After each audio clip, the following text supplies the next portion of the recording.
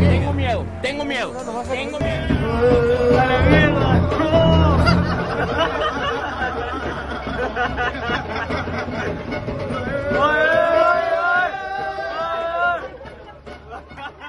Estaba pensando en una frase para empezar el video. ¿Héroe o amenaza? A veces dicen que a veces los zampais incentivan en algunos jugadores el hambre de gol. Una frase para empezar el video del tipo no hay racha que dure 100 años, ni equipo que la resista y cosas así, pero como que sería un poco forzado. Lo que hemos visto fue un evento histórico, pero por muchos motivos. Histórico para el fútbol peruano también. Algunos lo verán bien, otros lo verán como celebrar que un equipo gana un partido de Libertadores luego de una década como que no nos deja muy bien, pero sinceramente, yo lo que celebraría aquí no es tanto que Alianza Lima rompa la racha, que ya es algo bueno, porque sí, muchachos, que un equipo peruano haya tenido eso por tanto tiempo no hablaba bien de la liga. Que la gente siempre puede hacer chistes con otros equipos y Alianza siempre lo agarraron de punto por muchos años. Campeón de Alianza. Ni cagando. Yo no me imagino ser hincha de Alianza Lima. No, no, no, no, perdón. ¿Qué equipo para más mediocre? Que a nivel internacional históricamente siempre dio vergüenza. Pero en el fondo siempre era una mala noticia para el fútbol peruano que Alianza Lima o que cualquier otro equipo le vaya mal en Libertadores. Lo que se tiene que celebrar es un trabajo bien hecho, un trabajo que tuvo decisiones importantes y que contra todo pronóstico tiene Alianza Lima primer lugar de su grupo. Mira la tabla del grupo Alianza. Están primeros con 4 puntos. Claro, como siempre hacemos en este canal, no nos vamos a tirar por las ventanas ni a correr por los techos diciendo que Alianza Lima va a clasificar sí o sí. Tienen que pasar todavía 4 partidos más. Pero Alianza Lima ha empezado muy bien en la segunda fecha. En su primer partido de visita contra Libertad de Paraguay vamos a analizar el partido, vamos a saber qué fue lo que hizo bien el Chicho Salas, qué fue lo que hizo mal Libertad de Paraguay y cuáles fueron las decisiones más importantes. Partiendo de una, Alianza Lima ha ganado en Paraguay, en el Defensores del Chaco, contra Libertad, probablemente el mejor equipo de la Liga Paraguaya, sin recurrir a Cristian Cueva. Antes de que empiece el partido, una de las ideas más recorridas por todos lados era que con Cueva Alianza podría ganar este partido porque Cueva siempre se paseaba jugando en Paraguay. Sin embargo, Salas estuvo por encima de eso y tomó una decisión todavía mejor, prescindir de Cueva. Jugar de una manera en la que el equipo no sea dependiente de él como estaba empezando a suceder en la liga local, sino que demostró que sin Cueva se puede armar una Alianza Lima muy competitivo, tanto que ni siquiera fue necesario que entre al partido. ¿Por qué? Porque fue un partido muy bien planteado desde la pizarra, desde la alineación, y eso se le tiene que reconocer. Si tuvo errores que yo se los remarqué en el primer partido que fue contra Paranaense, que para mí Alianza tranquilamente no solamente lo tuvo que intentar, sino que lo debió ir a ganar cuando su rival se queda con 10, aquí aprendió de esos errores. Se dio cuenta de que primero Cueva no estaba para arrancar de titular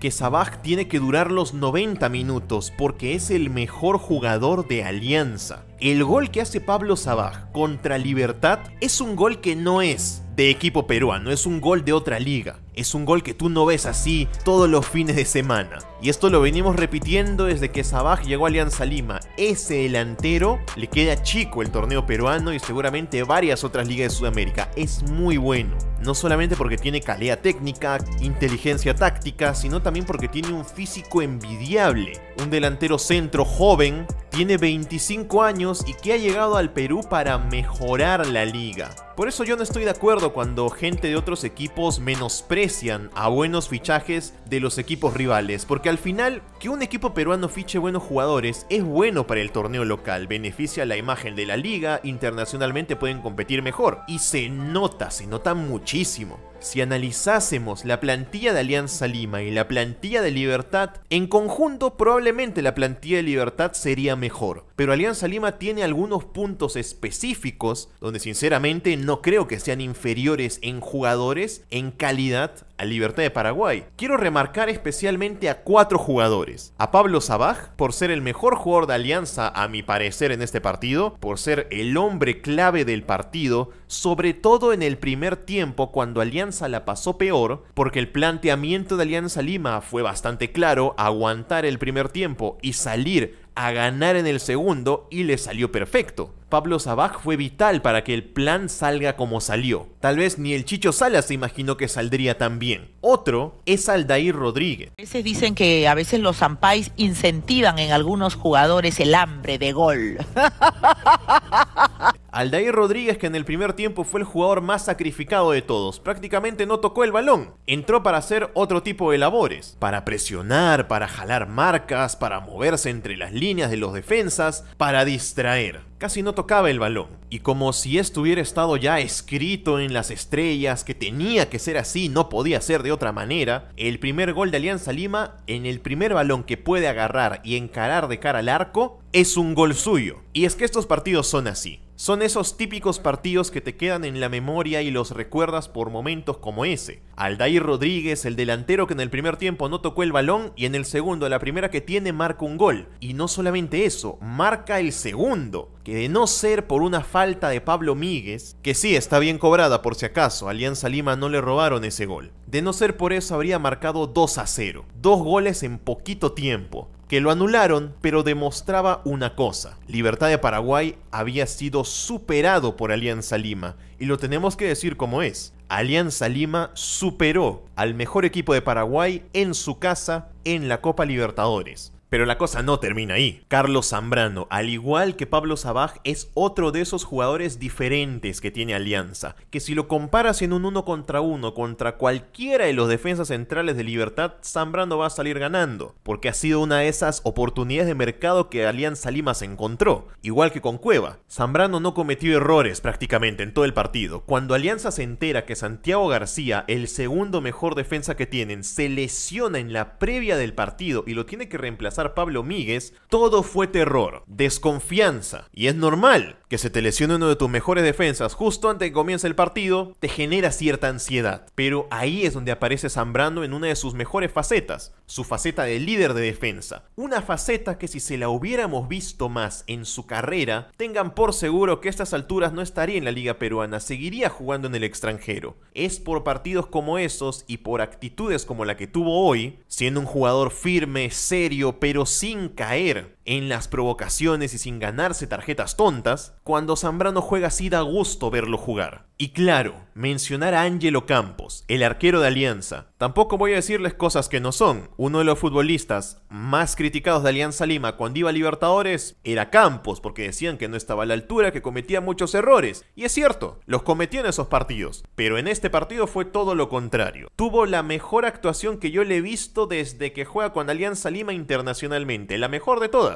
Tapó todo. No pudieron sobrepasarlo ninguna sola vez y eso también se le tiene que reconocer Alianza Lima se nota que hizo un buen trabajo pensando en este partido desde la previa, durante, con el gol anulado, para no dejarse caer y para que sus jugadores estén siempre motivados. Eso es mérito del entrenador, es mérito del comando técnico y yo se los reconozco porque se tiene que reconocer cuando el trabajo se hace bien, así como se critica cuando el trabajo se hace mal. Aparte de eso, podríamos hacer alguna mención honrosa para Jesús Castillo, tal vez el futbolista más infravalorado de Alianza Lima, pero que sostiene ese medio campo como ningún otro, o para algunas jugadas esporádicas que se mandaba Brian Reina. Que fuera lo que algunos piensan, creo que no tuvo un gran partido en verdad. Tuvo jugadas importantes como para el 2 a 0, una jugada que él comienza intentando gambetear por la banda izquierda, un balón que no da por perdido y que termina en el gol de Sabaj que es un tremendo golazo, y por eso lo tengo como una mención honrosa. El partido de Alianza Lima, en líneas generales, sacó a relucir todos los errores que tenía Libertad de Paraguay. De hecho, Libertad de Paraguay parecía el equipo peruano en este segundo tiempo, cometiendo errores de cálculo, metiendo cambios a lo loco, metiendo a Roque Santa Cruz a a Cardoso, todos los nueve juntos a la desesperada para buscar el gol como sea y Alianza Lima, y esto lo tenemos que dar a conocer porque fue muy importante, Alianza Lima nunca perdió la calma, la concentración,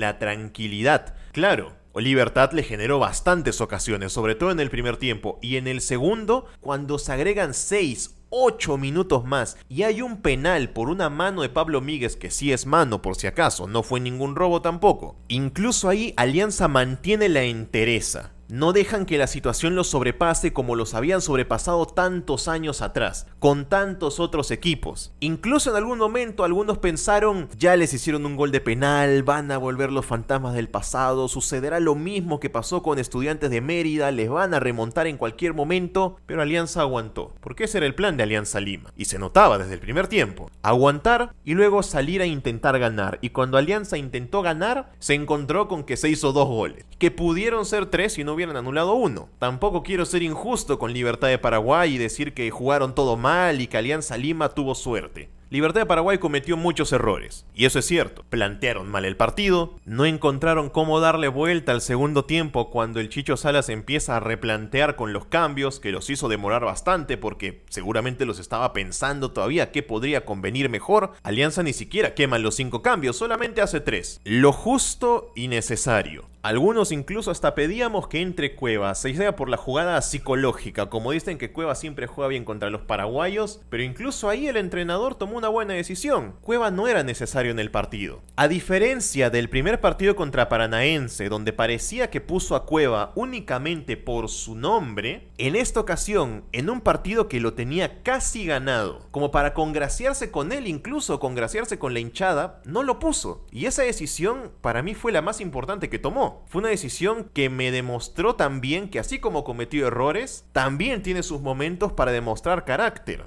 Créanme que en el primer partido contra Paranaense me pareció que el entrenador había sucumbido ante la imagen de Cueva, que se había rendido a él y lo había puesto a jugar a pesar de que no tenía el nivel físico todavía. Aquí pensaba que iba a ser lo mismo, porque Cueva tiene toda esa aura de que en Paraguay siempre juega bien pero no lo hizo y eso me alegró bastante, porque es con esas pequeñas decisiones que se terminan ganando partidos y que se rompen rachas como estas. Bajando un poco más, poniendo los pies en la tierra, la situación es esta. Alianza Lima está a primer lugar del grupo. Junto con Atlético Paranaense, los dos tienen 4 puntos. La siguiente fecha la juegan contra Atlético Mineiro en Lima. Atlético Mineiro tiene 0 puntos, vienen de perder con el Atlético Paranaense y con el Libertad de Paraguay. Alianza Lima tiene una oportunidad de oro en la tercera fecha, que no nos imaginábamos que iban a llegar a tener aquí, para no solamente revalidar su racha, sino para encaminar una posible clasificación, así sea a la Copa